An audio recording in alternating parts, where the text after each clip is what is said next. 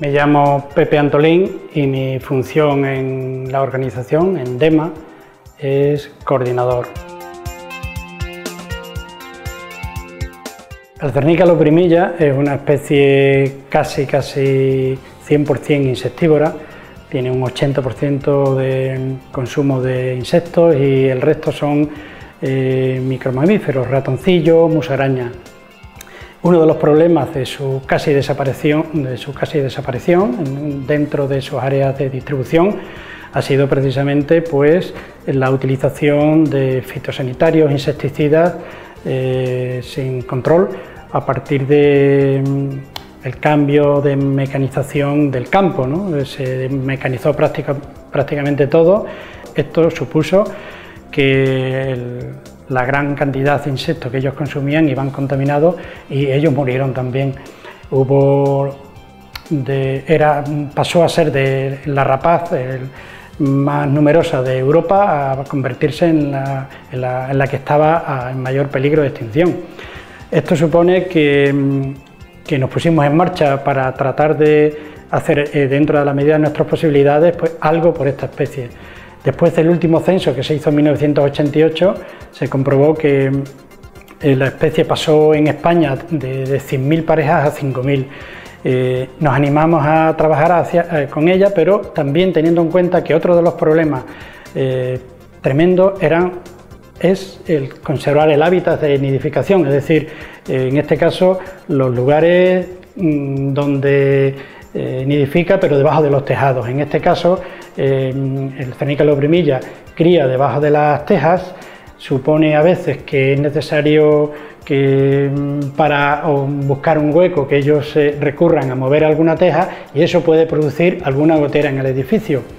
En este caso nosotros eh, mm, tratamos de plantear pues, la situación de facilitarle hueco. Esto eh, ¿Por qué a, cuento de que viene? Pues precisamente que como movía las tejas en su momento y la ignorancia era tal y, no se conocía la especie, no estaba protegida o si lo estaba pues nadie hacía, mucho caso, eh, fueron eliminando muchos cernícalos firmillas porque hacían daño a los tejados.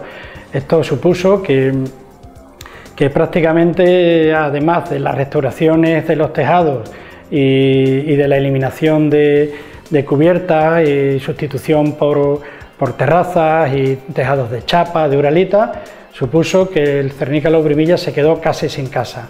Eh, realmente aquí, mm, por ejemplo, nosotros comenzamos a colocarle nidales artificiales bajo la cubierta, pero también otros nidales artificiales que, eh, podemos observar sobre, los tejados o, en las repisas de los tejados, eh, para facilitarle estos huecos.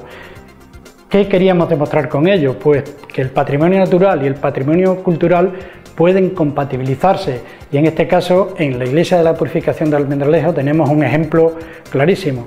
En, este lugar había aproximadamente 20 parejas en 1988-89 y ya simplemente en 7, 8 o 9 años colocándole nidales artificiales, se le instalaron unos 100 nidales, la colonia subió aproximadamente a 85 90 parejas.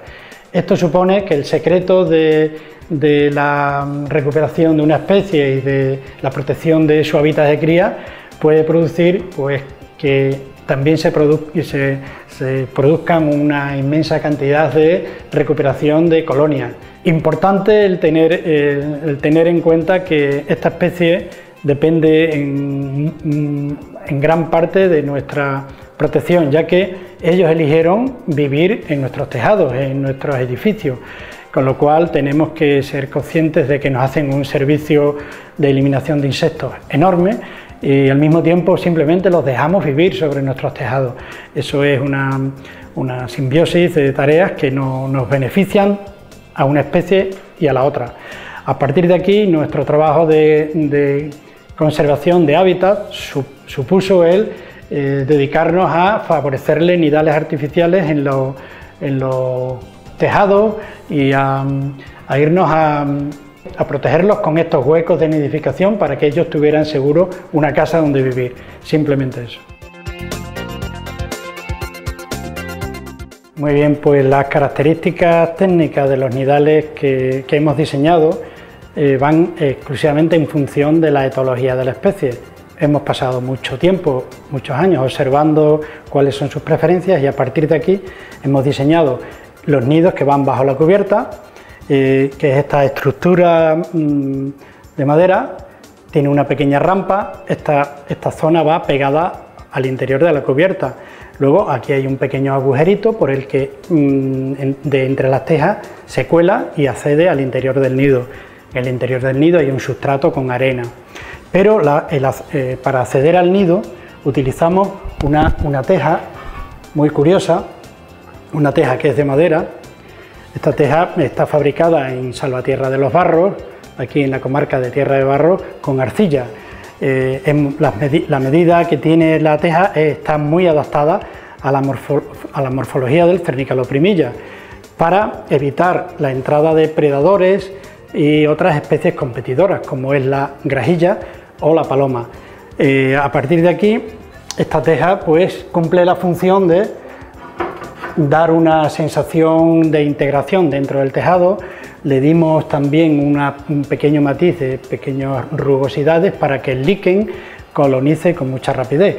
A partir de aquí ya tenemos una casita eh, para el cernicaloprimilla completamente adaptada a la cubierta del tejado que no causa impacto visual desagradable en, un edificio de interés cultural y que al mismo tiempo, como insistíamos antes, eh, compatibiliza la protección de ese patrimonio natural y el patrimonio eh, cultural. También eh, en la zona se repisa y, estructuras, eh, apoyos metálicos o postes de, madera, podemos utilizar este tipo de nidal, que también ha sido un diseño propio de DEMA.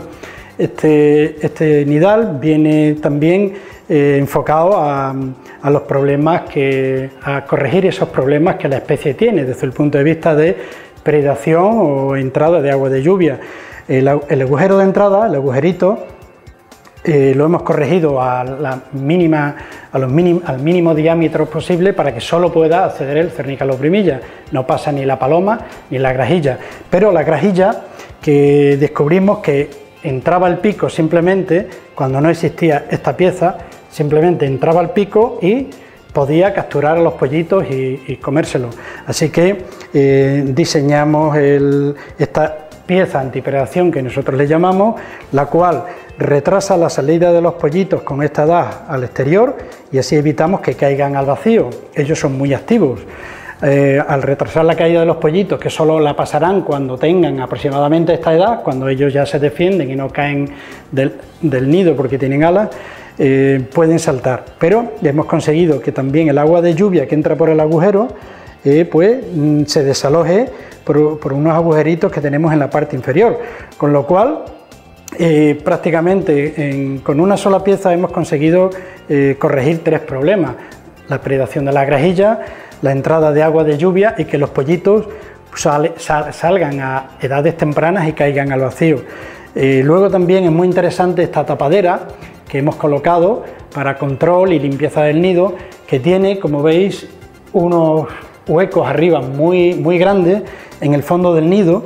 Le, tenemos hecho unos agujeros también en, posición eh, perpendicular para evitar la entrada de agua de lluvia, pero esto eh, consigue una aireación horizontal que impulsa el aire caliente hacia el techo, el aire caliente tiende a subir arriba y lo desalojamos por estas ranuras que hay en el techo, con lo cual, teniendo un material termorregulable de características muy, muy similares a la cal, pero resistente a la intemperie, que no se deshace, es un cemento especial, hemos podido conseguir que dentro, a 40 grados de temperatura, a pleno sol, pues haya una temperatura fresca, haya un, ambiente muy...